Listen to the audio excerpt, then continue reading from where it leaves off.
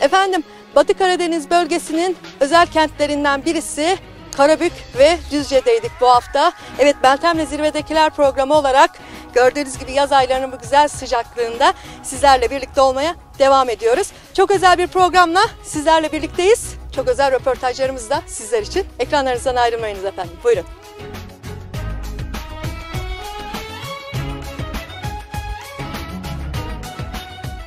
Meltem'le zirvedekiler bu hafta Batı Karadeniz bölgesinin iki güzel kenti Düzce ve Karabük'teydi. Gerek sanayi gerekse turizm açısından önemli bir geçiş noktasında yer alan her iki kentimizde farklı değerleriyle karşımıza çıkıyor.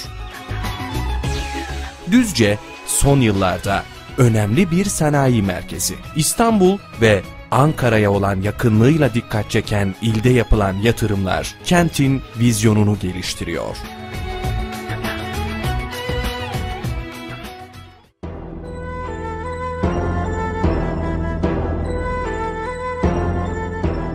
...12 Kasım 1999 Cuma günü saat 18.57'de aletsel büyüklüğü 7.2 olan Düzce depreminin merkez üssü Kaynaşlı'ydı. 30 saniye süreyle etkili olan deprem pek çok ilden de hissedildi. O gün Türkiye yasa boğuldu. Düzce yerle bir olmuş. Çok sayıda ölen olmuştu. Kaynaşlı ilçesinin adı da o dönem sıkça anılmıştı. Bu depremde hayatını kaybedenlere Allah'tan rahmet diliyor. Kaynaşlı ilçesinin bugünkü durumunu araştırmak üzere ilçeye doğru yol alıyoruz. Meltem'le zirvedekiler ekibi Kaynaşlı ilçesinin konumunu sizler için araştırdı. Kaynaşlı Belediye Başkanı Sayın Erol Bayraktar'la ilçenin bugünkü durumunu konuştuk. Genç, idealist yapısıyla ilçede değişim rüzgarları estiren Başkan Bayraktar, programımıza çarpıcı açıklamalarda bulunarak Kaynaşlı'nın bugünkü durumunu anlattı. Bu çok özel röportaj az sonra. Kaynaşlı Belediye Başkanı Erol Bayraktar'a ilçesi için yaptıklarını sorduk. Başkan Bayraktar, Meltem'le zirvedekiler ekibine bakın neler anlattı. Ee, genel olarak burada e, tarım e, alanında geçim ve ağırlık tarım var, e, sanayi var, sanayinin bir bölümü az da olsa sanayi var, daha çok nakliye ve e, turizme yönelik, turizm işte tesislerde tesislerimizin varlığı, turizme yönelik e, halkımızın geliri bu yönde. Biz ilk olarak e, göreve başladığımızda derelerimizin komple derelerimiz ıslahıyla başladık, temizliğiyle başladık pardon. Çünkü e, dedim ya Kaynaş'ta 15-30 senede bir deprem olur. Yak, e, azami olarak 5-6 senede bir sel olur. Biz derenin temizliğiyle, temizliğiyle başladık. Bunun ardından da e, Devlet Su İşleri Genel Müdürümüzle işte e, Orman Su İşleri Bakanımızla görüştük. Akabinde de e, gerçekten e, huzurlarınızda bir kez daha kendilerine teşekkür ediyorum. Bu ölçekte bir ilçe için e, büyük bir e, meblağlı ihale oldu. Allah nasip ederse şu anda e, çalışmalar da başladı. İki sene içerisinde Kaynaşlı'nın tüm yan dereleri ıslah olmuş olacak. Onun yanı sıra mesire alanları biz oluşturalım Kaynaşlı'da. Bunun için bizim Gırgın Çayırı e, Kaynaşlı mesire alanı diye çünkü bu bölgede kısa mesafede yükselerek en üst rakıma gelen e, bir yerimiz var. Burası bizden önceki başkanımız 16 dönüm olarak tahsis etmişti. Biz burayı 100 dönüme çıkardık. Şu anda temizliğini bitirdik. Bunun e, yanında biz e, önümüzdeki aslında okullar bitimine kadar bunu tamamlayacaktık. 10 tane çocuk parkını. E, malumunuz bu sene havalar çok yağışlı gitti. e, Allah nasip ederse Kurban Kurban Bayramı'na kadar biz e, tüm mahallelerimizde bir çocuk parkı, 7 mahallemizde 7 çocuk parkı yapacağız. Ama bu sene ilk olması hasebiyle 10 tane çocuk parkını yapacağız. Bunu Allah nasip ederse Kurban Bayramı'na kadar hayata geçireceğiz. Yine e, enerji alanında çalışmalarımız var bizim e, ilçemizde. Bunun akabinde yine doğalgaz çalışmalarımız oldu bizim burada. E, 2017'ye kadar Kaynaş'ta doğalgaz çalışmasını Dergaz tamamlamıştı. Yine bakanımızla görüştük, e, görüşmemizin neticesinde geçen sene 3,5 kilometre doğalgaz yaptık. Bu sene de yaklaşık 4-4,5 gibi doğal e, gaz çalışması olacak. Ha şunu da artı parantez söyleyeyim. Ben geldiğimizden beri arkadaşlarımızla yaklaşık 20 e, kilometreye yakın 16'nın üzerinde de yılbaşında itibariyle şimdi halen daha çalışıyoruz. 20 kilometreye yakın sıfırdan yol açtık. Yine sağlık alanındaki çalışmalarımız bizim e, devlet hastanemiz şu anda 24 saat tüm ilçelerde 12 saat kaynaştığımızda 24 saat şimdi e, ambulans da e, tedarik ettik buraya. Önümüzdeki günlerde gelecek. 112'nin haricinde e, entegre hastanemizde ambulans da mevcut olarak e, e, devam edecek. Yine bizim karayolları e, alanında çalışmalarımız var. Bildiğiniz gibi D100 e, buradan Kaynaş'ın içerisinden geçiyor. Şehri ikiye bölüyor. Burada e, bir yan yol çalışmalarımız e, çalışmalarımız oldu. İlk önce karayolu üzerinde biz geldiğimizde Kaynaşlı'nın içerisinde 387 tane prefabrik yapı vardı. Şu ana kadar bunun 190'ını falan yıktık. Şu anda bunun karşılığında da e, yan yollar kendiliğinden biz oluşturduk. Üst geçit çalışmaları e, ki D100 iki, e, şehri ikiye böldüğü için bu D100 üzerinde biz geçen yıl itibariyle 1100 tane ağaçlandırma çalışması yaptık. Işıklandırma çalışmalarımız ve orta revüjleri kaldırıp tekrar e, peyzaj çalışmaları işte girişinde çıkışında çok farklı bir kaynaşçı e, alan nasip edersek 3,5 sene sonra e, halkımız, halkımızın hizmetine hizmetine sunmuş olacağız.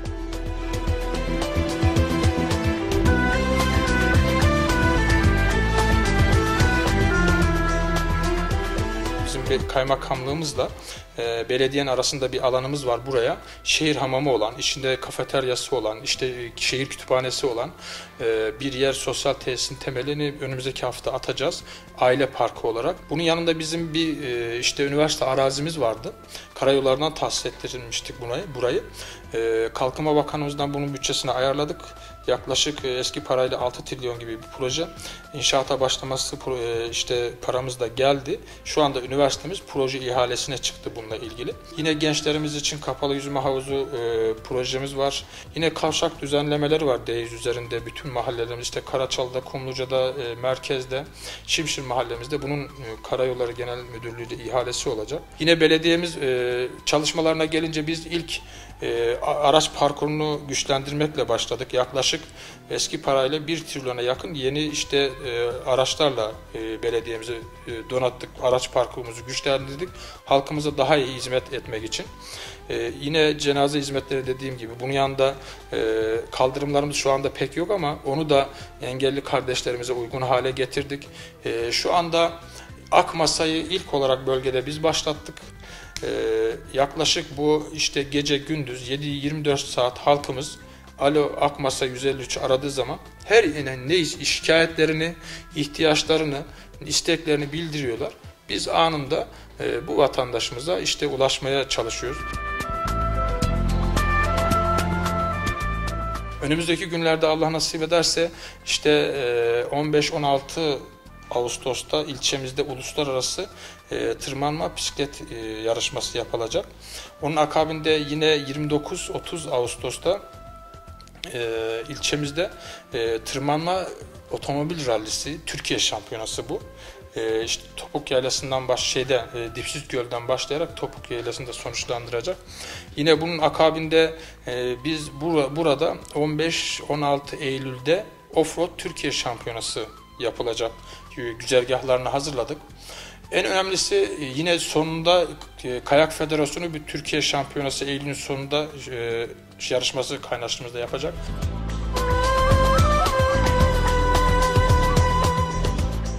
Ha şuna ben şunu ifade edeyim. Sanayi bu bölgede fazla yeteri kadar olsun, fazla sanayi olmasın görüşteyim. Çünkü turizmin önümüzde gelecek için turizm kaynaştı çok parlak potansiyeli var.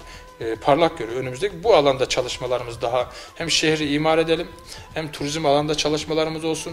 Son olarak şunu ifade edeyim. Öncelikle Avrupa'daki tüm soydaşlarımıza saygım, selamlarımı sizin aracınızda iletiyorum. E, şunu ifade edeyim e, asimile olmadan entegre olmak gerekir. Kaynaşlı'nın güzelliklerini, Kaynaşlı'nın işte göletlerini, yaylalarını tatmalarını kendilerinden istiyorum. Herke hepsinize saygılar sunuyorum. Bizi tekrar e, onurlandırdığınız için de sizlere kanal ya da e, televizyonda teşekkürlerimi ifade ediyorum. Biz çok teşekkür ediyoruz. Başarılarınızın devamını diliyoruz efendim.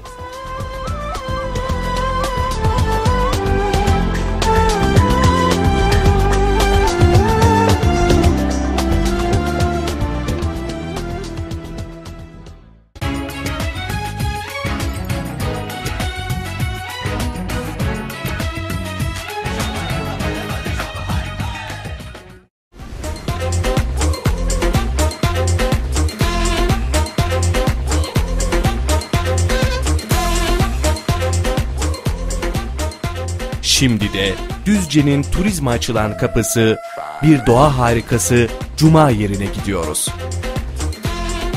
Kendine özgü eşsiz manzarasıyla harika bir ilçe Cuma yeri.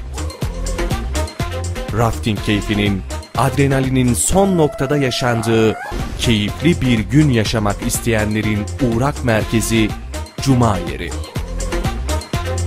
Yapılan girişimlerle de ilçede yatırım projeleri kıpırdama göstermiş, Cuma yerinde değişim rüzgarları da başlamış. Cuma yeri Belediye Başkanı Sayın Recep Tuna'yla hizmetler noktasında sohbet ettik. Buranın turizm potansiyelini ve doğa cazibesini öğrendik. Şimdi sizleri bu eşsiz manzarasıyla Cuma yerine götürüyor, sohbetimizle baş başa bırakıyoruz. Öncelikle Cuma'nın tarihinden kısaca bahsedeyim. Adı üzerine Cuma yeri diyoruz biz. Cuma yeri bölgede e, aslında daha ilçe olmadan önce, daha belde beldeyken bütün köylerin toplanma merkezi haline gelmiş. Ve de e, Cuma'nın tek kılındığı merkez olduğu için de insanlar hem pazarı oluşturmuşlar orada hem pazara gelmişler hem Cuma namazını kılmak için gelmişler ve de adını Cuma yeri olarak koymuşlar. O şekilde devam etmiş.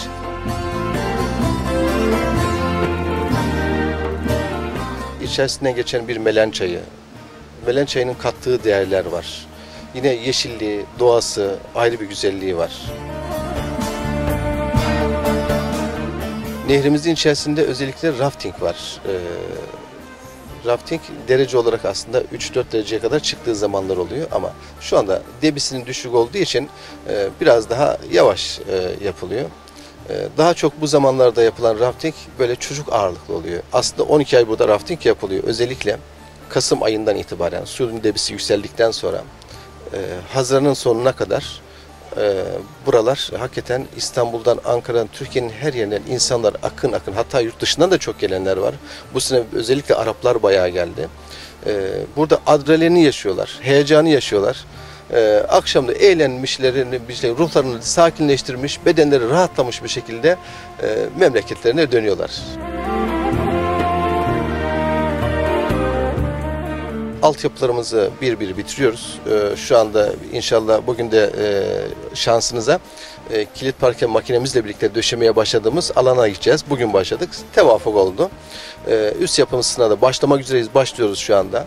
Bunlar bizim öncelikli hedeflerimizdi. İşte bizim bir su e, problemimiz vardı. Örneğin e, hala arıtmamız yoktu. E, yağmurlu havalarda bulanık akardı sularımız. Bunlar problemdi. E, insanlarımız da aslında zulüm ve eziyetti. İnşallah bunun da ihalesini yaptık. E, arıtmamızı da kuracağız.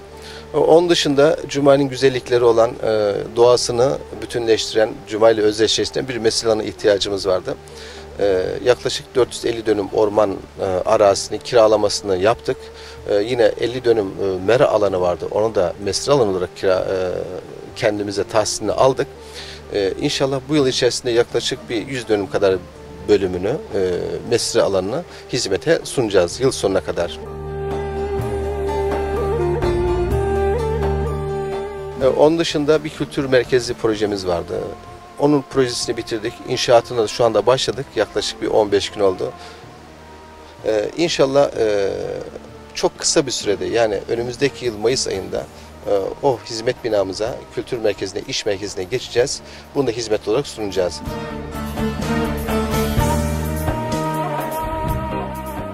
Sadece Antalya'dan, İzmir'den, İstanbul'dan ibaret değil turizm yerleri. E, lütfen Düzce'mize gelin. E, müsterih olsunlar, gönül rahatlığıyla gelsinler. İlimizi, ilçemizi, bütün ilçelerimize gelsinler, görsünler. E, bir daha da ayrılmayacaklardır, her sene geleceklerdir.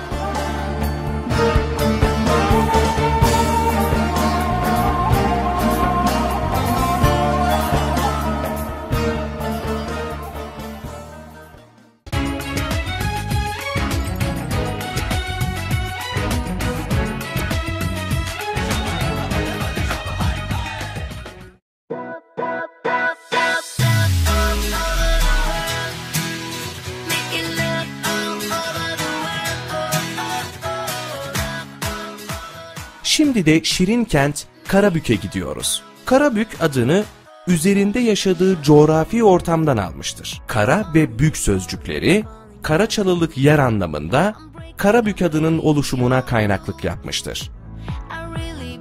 Demir yoluyla taşıma imkanının varlığı ve kömür yataklarının yakınlığı nedeniyle burada bir demir çelik fabrikası kurulması kararlaştırıldı. 3 Nisan 1937'de Atatürk'ün talimatıyla İsmet İnönü hala Karabük'ün en önemli geçim kaynağı olan Karabük Demir Çelik Fabrikası'nın temellerini attı.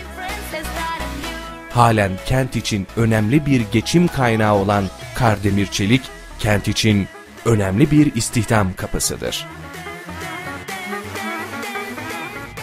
Karabük 6 Haziran 1995'te Çankırı'nın Ovacık ve Eski Pazar ilçeleriyle Zonguldak'ın Yenice, Safranbolu ve Eflani ilçelerinin birleştirilmesiyle Türkiye'nin 78. ili oldu. Her yıl binlerce turisti ağırlayan Safranbolu, kentin turizm açısından önemli merkezlerinden birisini oluşturuyor.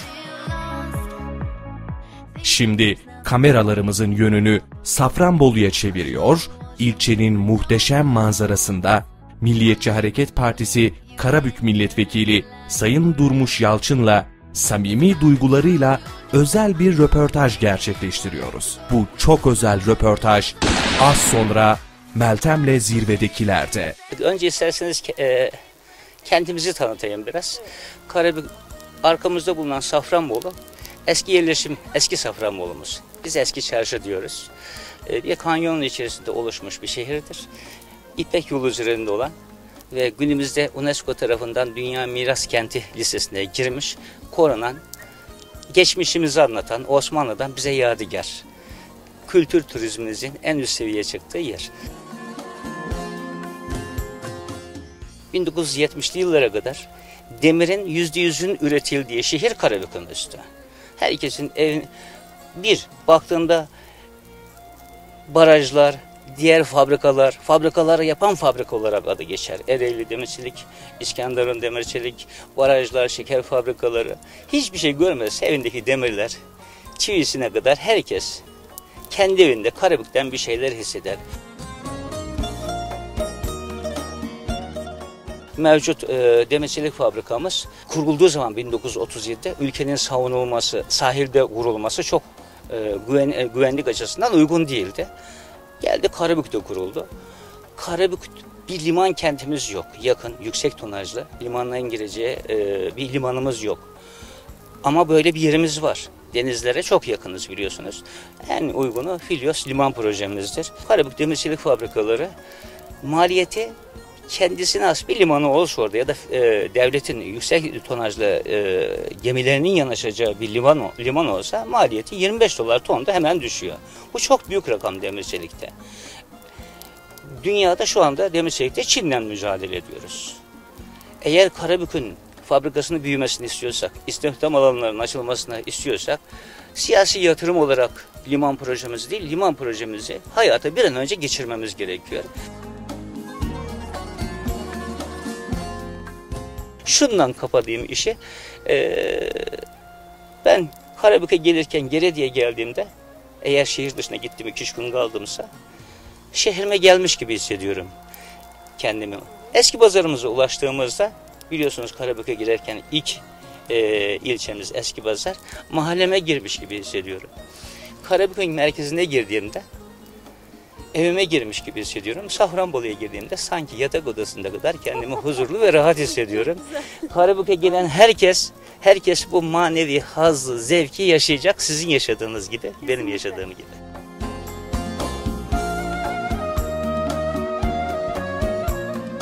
Sizin için Karabük'ün çok farklı yönlerini ele almaya çalıştık.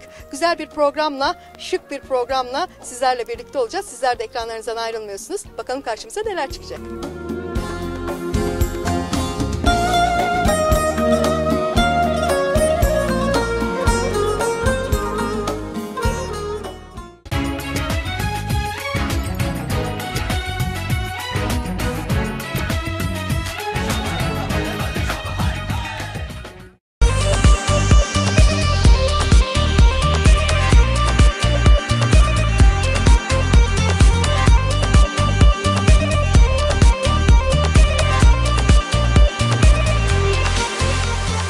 Şimdi de bölgeye yatırımlarıyla dikkat çeken, istihdama önemli bir katkı sağlayan Taha Holding'e gidiyoruz. LCB ortaklarından Sayın Şefik Dizdar bu hafta Meltem'le zirvedekilerin özel konuğu oldu. İş hayatındaki başarısıyla dünden bugüne başarı öyküsünü dinlediğimiz Sayın Dizdar, Safranbolu'daki çiftliğinde ekibimizi ağırladı. Sohbeti hoş, mütevazı, aynı zamanda da prensiplerini hiç bozmayan yapısıyla iş hayatında başarılara imza atmış olan Sayın Dizdar'la yaptığımız röportajımızı getiriyoruz ekranlara. Ben e, 1939 yılında Safranbolu'da doğmuşum. İlk orta ve liseyi bölgemizde bitirdim. Yüksek tahsilimi İzmir İktisadi ve Ticari İlimler Akademisi'den mezun oldum. Karabük Demir Çelik Fabrikalarının yani Türkiye Demir Çelik İşletmeleri Genel Müdürlüğü'nün bursiyeri olarak bitirdim ve Demir Çelik'te hemen işe başladım 1961 yılında. Demir çelik ürünleri ihraç eden bir firma kurduk Yekta Dış Ticaret AŞ. Daha sonra da Taha Dış Ticaret AŞ firmasıyla İran'a büyük ölçüde demir çelik ihraç ettik ve birinciliği aldık. En fazla demir çelik ürünü ihraç eden firma e, durumuna geldik. Savaş bitti. İran'la ilişkilerimiz de bıçakla kesilir gibi sona erdi.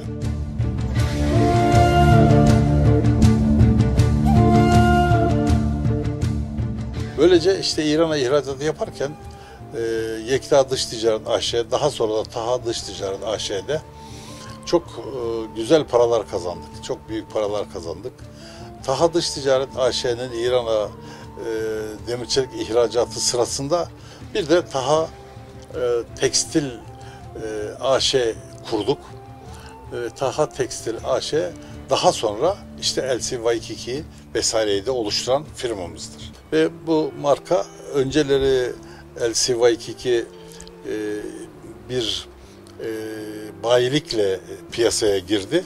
Daha sonra da kendi mağazalarımızı kurmaya başladık. Şimdi şu sırada Türkiye e, genelinde e, 390'dan fazla tam son zamanda her an değişebiliyor rakamlar bilemiyorum. 390 tane firmamız var. E, aşağı yukarı bunlarda çalışanların sayısı da 18 bini aşkındır. Memleketimde çok e, güzel hizmetler yapmaya çalışıyorum. Kültür ve Turizm Vakfı Başkanıyım şu anda ve burada e, bu alanda e, çok yoğun bir faaliyet içerisindeyiz. Bunlardan birkaç tanesini anlatmam gerekirse mesela işe başlar başlamaz mutlaka yapılması gereken turizm master planı gerekli oluyor turistik ağırlıklı çalışan yerlerde. Turizm master planının çalışmasını başlattık, bitirdik. Şimdi Adanalı bir mimar arkadaşımız bunun farkına varmış. Bize dedi ki orayı turizme açalım. Oraları gezdirelim. Hakikaten o cami e, İzzet Mehmet Paşa Camisi'nin altından itibaren e, Cincihan'ı çarşının bir bölümü ve hamamın altında dehlizler var. İnsan elle yapılmış kemerler. Kemerlerin altında su kanalları ve e, muhteşem yapılar. Bunun çalışması içerisinde izinlerini aldığımız zaman oranın içini düzenleyeceğiz. Yürüyüş yolları yapacağız ve turizmi açacağız. Bu bizim en büyük e, ideallerimizden biri. Bunun dışında e, atalarımızın bıraktığı ancak e, henüz e, yıkılmaktan kurtaramadığımız bazı tarihi değerlerimiz daha var. E, Tuzcuoğlu Han diyoruz, Pamukçu Han diyoruz. Buralar tamamen kaderine terk edilmiş durumda. Onları canlandırmamız Cinci Hanı gibi onları da turizme kazandırmamız gerekiyor. Bu çalışmaları sürdürüyoruz.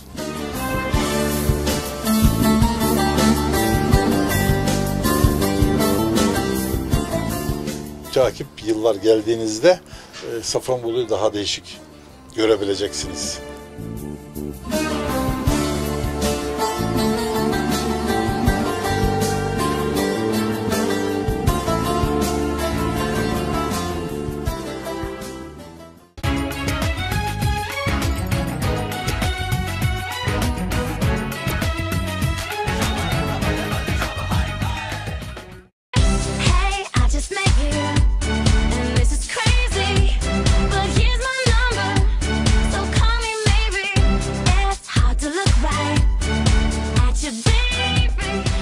Safranbolu denince aklımıza lokum gelir. Çok uzun yıllar bu sektörde olan fakat isim ve marka patentiyle ilklere imza atmayı başararak 2 yıllık bir firma olarak karşımıza çıkan Lati lokumlarına gidiyoruz. Lati lokumları, marka tescil uzmanı ve danışmanı Sayın Huriye Özener'le Lati lokumlarının lezzetini konuşuyoruz. Şimdi leziz lokumlarla sizleri baş başa bırakıyor, Lati lokumlarının farkını sizlere yansıtıyoruz. E, Safranbolu, Safranbolu evleri kadar meşhur olduğu kadar Safranbolu lokumuyla da çok ön planda. 2005 yılında Safranbolu Leti kurulmuş bulunmakta. Aynı zamanda 2006 yılının başlangıç tarihinde ki hem e, Safranbolu için çok önemli, aynı zamanda Türkiye için çok önemli. Üretici bir firma olarak coğrafi işareti tescilline başvuru yapıyorlar Safranbolu lokumunun uzun bir süreç içerisinde yaklaşık 9 yıl gibi süreç içerisinde Safranbolu lokumunun ayırt edici özelliği ve bunun markalaşması için hem maddi hem de manevi olarak ciddi bir çalışma yaptılar. Bu çalışmanın içerisinde ortak bir e, birliktelikle birlikte, emekle birlikte bu hale getirdik. En nihayetinde 2015 yılı içerisinde başlangıcıyla birlikte hatta Safranbolu lokumunun ulusal başvurusunun tesciline alındı. Şu anda uluslararası arenada lokumun yani Safranbolu lokumunun e, müracaatını yapmak için de ön çalışmalarımızı başlattık. Buradaki amaç şu, Safranbolu Leti'nin bu örnek çalışması özellikle ulusal, ulusal bazdaki üretici firma olup aynı zamanda yöresel ürüne yani Safranbolu ile özleşmiş olan Safranbolu lokumunun korunmasının yapılması, taklitinin önlenmesi e, için ciddi çalışmalar yaptılar. Safranbolu'nun gerçek lokumunun nasıl olduğu ki ayırt en büyük özelliklerinden biri de glikoz olmaması. Bu çok önemli. E, ve yine Safranbolu'nun suyunun e, kendine has tadığıyla birlikte lokumla aromatik bir e, tat bırakmış olması. Bunların hepsini bir e, araya getirdiği zaman güzel bir lezzet, kalıcı bir lezzet. Şimdi Lati Gıda'nın tesisini gezdiniz. Oldukça şık, temiz, hijyenik ve modern bir tesis. Ancak bu te- tesisin içerisinde yine usullere uygun olarak yani geleneksel yöntemli hatta biz bunu başvurumuzun içerisinde de yazdık usta çırak ilişkisiyle o örf ve aneleri kaybetmeden aynı şekilde üretimleri devam ediyor. Bu diğer hemen akla gelen afyon lokumundan mümkün değil. İnanılmaz derecede ayırt edici. Yine Rum e, Rumların yapmış olduğu lokumla ilgili ayırt edici özelliği ön plana katmış oluyor. Tüketicilerimiz sizlere nasıl ulaşabilirler Latin lokum adına? www.latilokum.com.tr 0370 737 20 20 numaralı telefondan bize ulaşabilirler. Ve e, bayilik almak isteyenler de arayabilirler. Evet, kesinlikle. Huriye Hanım çok teşekkür ediyoruz. Lati lokumlarına bizleri de çok güzel ağırladınız. Şu anda önümüzde harika bir kahve ve vazgeçilmez ikramıyla e, lati lokumları var. Bunun için son olarak ne diyeceksiniz? Bir kahvenin 40 yıl hatırı yanında ikram edilen Safranbolu lati lokumunu doyulmaz tadı vardır. O zaman afiyet olsun. Hey, I just met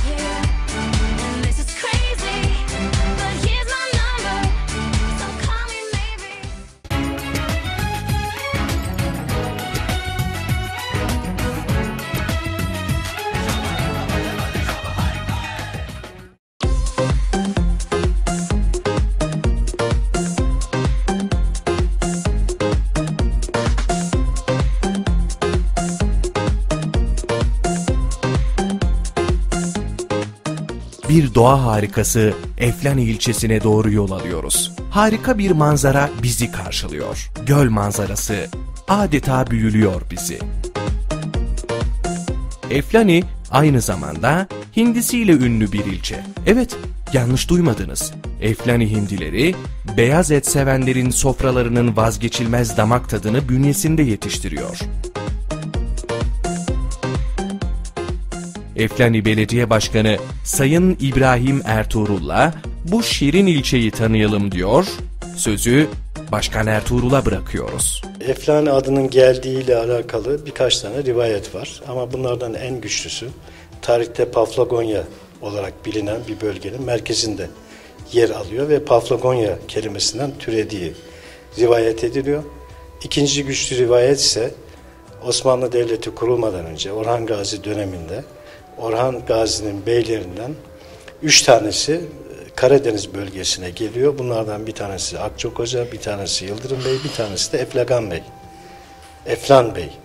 Ve Eflan Bey'in e, mezarının ilçemizde Tokartepe olarak bilinen yerde olduğu rivayet ediliyor.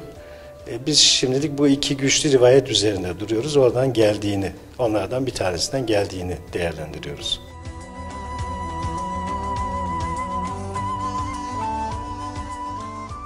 Eğer üç dönem seçilmek başarı ise ben bu başarımı yaptığımız işlerden daha çok samimi olmaya, insanlara verdiğim sözü yerine getirmeye çalışmaya borçluyum. Ben 11 yıldır e, belediye başkanlığı yapıyorum. 11 yılda yaptığımız birçok şey var aslında. 11 yıl önce biz en büyük ilçenin sorunu su sorunuydu. Biz 6 aylık bir çalışma neticesinde yıllardır, 10 yıllardır çözülemeyen su sorununu tarihe gömdük. Bugün geldiğimiz nokta itibariyle ilçe merkezinde mahallelerimizin su ihtiyacını karşılıyoruz. Sıfır su sorunumuz var. 20 tane de yakın köylerimizin ve mahallelerimizin suyu olmayan e, yerlerine su veriyoruz. Onların bu su ihtiyacını karşılıyoruz. Tabii e, göreve geldiğimizde e, altyapı noktasında çok büyük sıkıntılarımız vardı. Geçen yıl biz seçim çalışmasında bir vatandaşımızın tarifiyle biz eskiden Eflani ilçe merkezine çizmeyle gezemezdik, şimdi terlikle gezebiliyoruz demişti. E, o da burada yapılan gelişmeleri anlatması bakımından son derece önemli bir manşet sizin tabirinizde. E, altyapı konusunda çok büyük işler yaptık. Kanalizasyon projemiz yoktu, kanalizasyon projemizi yaptık. Bu projeye dayalı her yıl çalışmalarımızı, uygulamalarımızı devam ediyoruz. Atık su arıtma tesisimizin yapımı devam ediyor. Ana kolektör hattımızın yapımı devam ediyor. Geçen yıl 4 kilometresini tamamladık. 5 kilometre daha ana kolektör hattını kendi ekiplerimizle bakanlıklardan aldığımız hibe ödeneklerle aldığımız malzemeyi uygulamak suretiyle yerine getiriyoruz. İki tane sosyal tesisimiz var. Konaklama tesisi olarak işler görecek. Bir tanesi tarihi tescilli kültür e, varlığı olan Taşhan. Geçen yıl Karabük Vali'nden aldığımız ödeneklerle, bankadan aldığımız ödenel, ödeneklerle restorasyonu tamamladık. Şu anda yeni açılacak meslek yüksek okulunda okuyacak öğrencilerimize konaklama imkanı sağlayacak şekilde dizayn ediyoruz. Kalorifer tesisatı yapılıyor. Tefrişatını yapacağız. İnşallah buraya gelen kız öğrencilerimizi orada misafir edeceğiz. İşte bir taraftan E, yüksek okul açılıyor. Yüksek okulumuzun da bazı eksikleri vardı. Onları tamamlamaya çalışıyoruz. Başka bir sosyal tesisimizde önümüzdeki yıl inşallah hizmete girecek. 70 yataklı otel konseptiyle başladığımız bir tesisimiz var. Burayı da 100 yatağa çıkardık. Eğer öğrenciye dön- dönük bir tesis olarak kullanılabilir ise böyle bir ihtiyaç olursa 200 öğrencimize yine konaklama imkanı sunacak.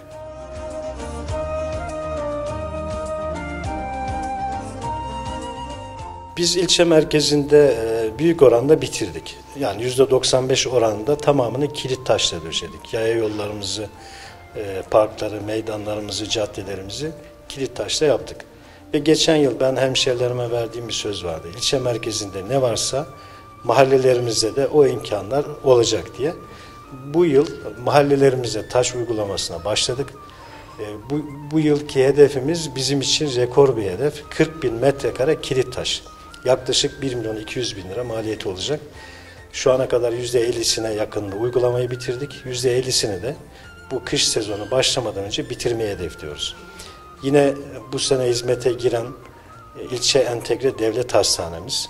Bu hastanemizin yolunda da sıkıntı vardı. Ee, yağmur şartlarına rağmen, olumsuz şartlarına rağmen vatandaşlarımız sıkıntı çekmesin diye bu yolumuzu yaptık. Şu anda da iki tarafında yayalarımızın yürüyebileceği yaya yollarını imalatını yapıyoruz.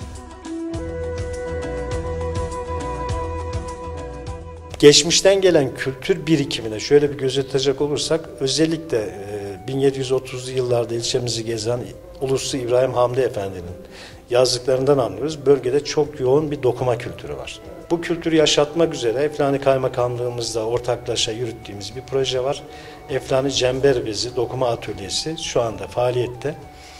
Orada e, eski e, eskiden dokunduğu gibi cember bezi dokunuyor ama e, günümüzde giyilebilecek özellikle hanımların giydiği kıyafetlerin dikimi de gerçekleşiyor. Güzel, özgün ürünler orada yapılıyor. E, bir başka kültürü de yani şimdi Eflani giyim kültüründen bahsettik. E, kendine özgü yiyecek kültürü var. Özellikle Eflani'mizde üretilen hindiler etinin lezzetiyle son derece meşhur. Bu bölgede çok tanınır. Eflani e, doğasıyla, iklimiyle dört mevsimin gerçek manada dört dörtlük yaşandığı bir bölge. Eflani bir özelliği de şu, hemen yanımızda Safranbolu var, bize yarım saatlik mesafede. İşte biraz kuzeye gittiğinizde Amasya var. E, Çeşmi Cihan olarak Fatih'in nitelediği e, Amasya var, bir, bir e, turizm merkezi. Doğumuzda da Evliyalar Diyarı Kastamonu var. Yani biz bu e, üç tane turizm merkezinin tam ortasında kavşak noktasındayız. Eflani Dada yolumuz şu anda yapılıyor. Bu yolda yapıldıktan sonra Kastamonu, Amasya, Safranbolu üçgeninin ortasında turizm potansiyeli olan ve kendine özgü değerleriyle, tarihiyle, kültürüyle bir Eflani gelecekte turizm merkezi olmaya aday olacak.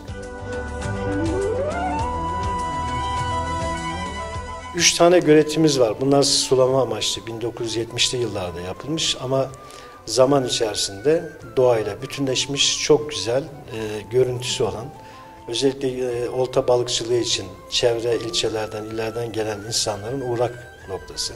Piknikçilerimizin çok sık tercih ettiği noktalar halinde. Yine yaylalarımız var, ormanlarımız var, göletlerimiz var. Yani hem tarihi değerleri, kültürel değerleri bir taraftan da doğal güzellikleriyle kışın e, beyaz gelinliğini giymiş bir eflani, yazın yemyeşil, yeşilin bütün tonuyla bir eflani, yazın işte sıcaklığıyla güzel bir eflani, sıcak aynı zamanda gecede serin. Çünkü Safranbolu'da, Karabük'te klimalı odalarda ya- uyuyamazken bizim burada yorgansız yatamazsınız. Akşam yorganla yatmanın tadına varırsınız.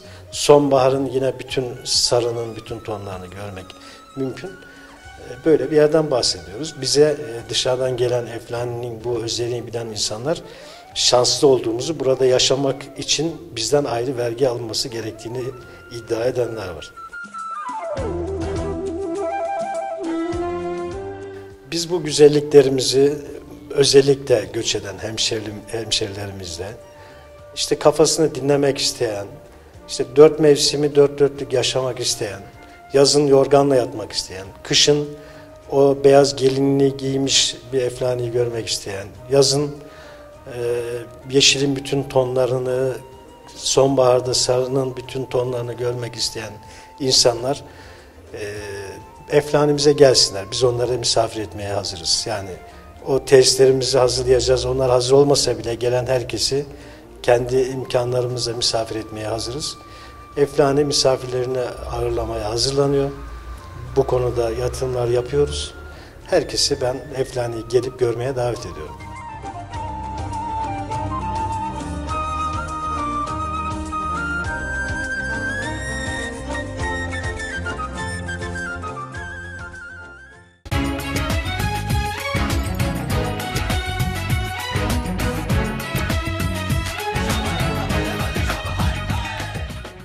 Efendim bu haftalıkta bu kadar.